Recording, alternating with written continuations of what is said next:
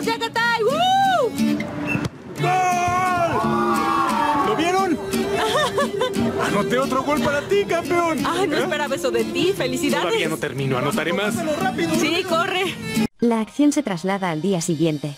Gildiz habla con su madre y le comenta que todavía considera a Andan como la esposa de Dogan. Dogan, ¿por qué no compraste un barco también? Pregunta Gildiz con tono de reproche. ¿Qué voy a hacer con un barco, mamá? Responde Gildiz, confundida. ¿Guardarás el pepinillo? Compró dos barcos para Andan, pero solo un collar para ti. Dogan no le dijo ni una palabra anoche. Exclama a Suman, visiblemente enojada. Él le pregunta cuándo se va. Después de todo, ella es la madre de su hija. Gildiz intenta justificar la actitud de Dogan. Gildiz, mientras demuestres comprensión, él seguirá aprovechándose. Tienes que enfrentarlo, empujar suavemente a Dogan para que ponga límites. Aconseja a Suman. Mamá, ¿a qué te refieres con que debería ser como la típica mujer nueva? Sí, exacto. Está bien mamá, lo pensaré. Vamos, hijo, vámonos. Dice Gildiz, cambiando de tema. ¿Dónde vas a ir? Pregunta a Suman, curiosa. En la escuela, Yagatai jugaba al fútbol con los otros padres. Le encanta robarse toda la atención, ser observado por todos, igual que a Kumbru. Están hechos el uno para el otro. Explica Gildiz con un dejo de sarcasmo. Asuman responde que llamará a su amiga Emel para verse y distraerse un poco. La escena se traslada a la oficina de Dogan, quien intenta contactar con Andan, pero ella no contesta el teléfono. Desesperado, se ve obligado a enviar a sus hombres a bloquear el paso de su coche, y Andan se ve forzada a hablar con Dogan. ¿No puedes oír tu teléfono? Le pregunta Dogan, furioso. Estás enfermo, estás enfermo. ¿Cómo te atreves a actuar así? Responde Andan, indignada. Tienes que contestar cuando te llamo. Harás lo que te diga. Ordena Dogan, elevando la voz. Serás condenado. ¿Qué deseas? Replica Andan, exasperada. Dogan, aún más enojado, le dice que de ahora en adelante no debe venir a su casa sin ser invitada, no debe acercarse a su hija y no debe molestar a su esposa. Luego agrega, Andan, toma el boleto que te envío y vete de aquí inmediatamente. De lo contrario, no seré responsable de las consecuencias. Andan, sintiéndose acorralada, mira a Dogan con una mezcla de miedo y desafío. Sabe que Dogan es un hombre peligroso y no está dispuesta a arriesgar más. Sin embargo, también está decidida a no dejarse intimidar tan fácilmente. La acción se traslada a Ender y Hanner. Hanner está enojada con su hermana por haber dicho al asistente de un diseñador de alta costura para perros que su perro se llama Hanner. En ese momento, el propio diseñador llama a Ender. Él le pregunta si puede mostrarle a su perro Hanner, ya que está ansioso por verlo. Ender responde que simplemente lo sacaron a caminar. ¿Cómo puedo servirle? Pregunta Ender con cortesía. Rafat, Andan te recomendó. Dice el diseñador. ¿Andan? exclama Ender, sorprendida. Sí, tu amiga Andan. No, ella no es mi amiga. Oh, ella me dijo algo diferente. Dijo eso porque es una mentirosa. Responde Ender con firmeza. Ender le pregunta si Andan también le mintió a él, y el diseñador le dice que Andan es muy peligrosa porque lo lastimó mucho, y le aconseja que se mantenga alejada de ella. Ender, visiblemente afectada, le pregunta qué sucedió. ¿Cómo qué? Cuando el dinero empezó a agotarse, trató de apuñalarme por la espalda. Responde el diseñador con amargura. ¿Cómo es que estoy empezando un negocio con ella? Por eso me pregunto. Pregunta Ender, preocupada. Oh no, no hagas negocios con ella. Ella sabe cómo parecer lujosa, pero está arruinada. Todo es solo apariencia. Su marido quebró y luego murió, y Andan se quedó sin un centavo. Al mismo tiempo, Andan está furiosa porque Dogan le envió un boleto para que salga de Turquía. Su asistente llega y le informa que no han pagado la cuota del préstamo ni el alquiler de la casa. Andan responde que, con todo lo demás que tiene en mente, se olvidó de eso. Mi hija volvió con Dogan y eso complicó más la situación, y encima Dogan quiere despedirme.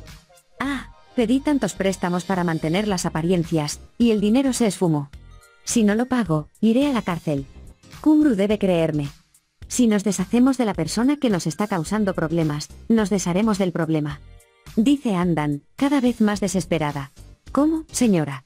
Pregunta su asistente, nerviosa. Mientras Dogan esté cerca, Me será imposible llegar hasta Kumru. Pero, si algo le sucede a Dogan, podré acercarme a Kumru para consolarla, y el legado de Kumru será suficiente para todos. Explica Andan con frialdad. ¿Qué le va a pasar? Pregunta el asistente, horrorizado. ¿Qué tal, por ejemplo, enviarlo lejos? Y no verlo más. Sugiere Andan, con una mirada siniestra. ¿Te irías? El asistente no puede creer lo que oye.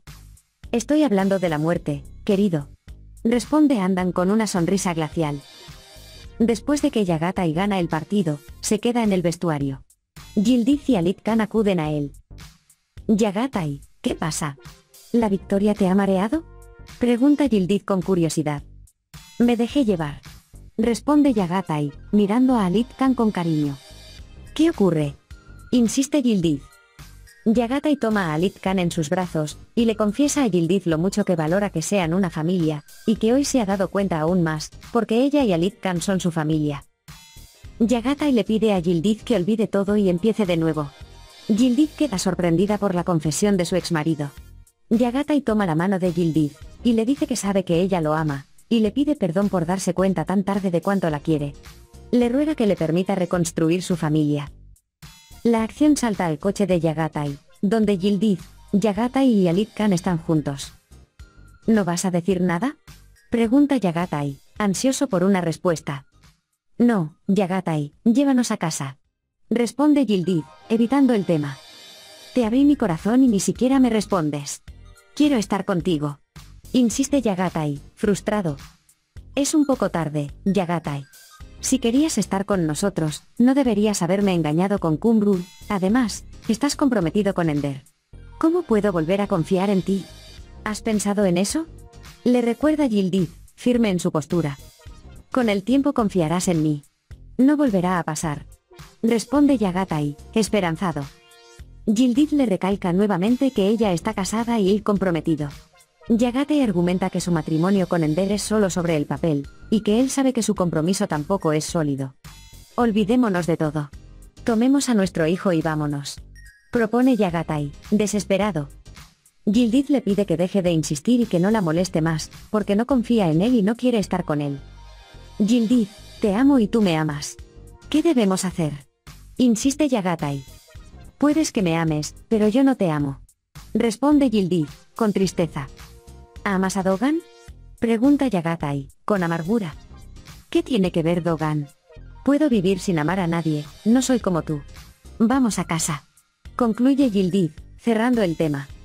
Mientras tanto, Ender le dice a Hanner que lo más importante es que han descubierto el juego de Andan, pero deciden no revelar de inmediato lo que saben y en lugar de eso, seguir jugando con Andan por diversión. Gildiz llama a Emir y le cuenta que Yagatai quiere que regrese con él y hasta ha sugerido fugarse juntos, pero ella se ha resistido. Emir le asegura que hizo lo correcto. Gildiz está preocupada porque teme que Yagatai no le diga nada a Ender, y corre a contarle a Dogan que tanto ella como Yagatai dependen de él. Emir aconseja a Gildiz que sea indiferente, y deje que Yagatai haga lo que quiera. Al mismo tiempo, Yagatai y Dogan se encuentran en el pasillo de la empresa. Dogan le pregunta por qué no estuvo en la reunión de la mañana, y Yagatai le responde preguntándole si Gildiz le mencionó que había un evento en la escuela de Alit Khan esa mañana.